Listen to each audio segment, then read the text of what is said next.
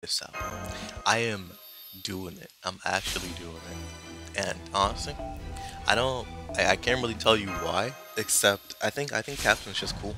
like there, there, there, there's other riders I would have been like, oh shoot, yeah, let me go for them.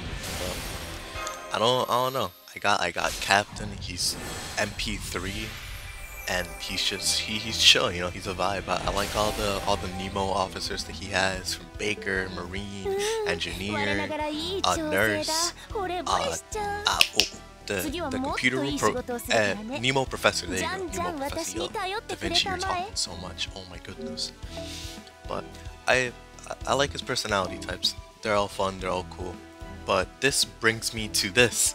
I have one person I need to max out before I am completely done with maxing out this.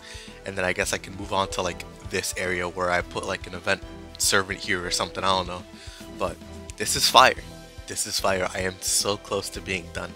Now it's either I find a servant, an archer who can, can fit the need, or I stock up and try to find other archers who would fit the need. But right now, you know, I am basically almost done with my support list. I have two, four, six, eight, I have eight servants maxed out. Uh, you know, and that's not counting Palette Palingenesis. But at the same time, it's like you know, I'll, I'll get to that when I get to that. But right now, I have eight servants maxed out on skills.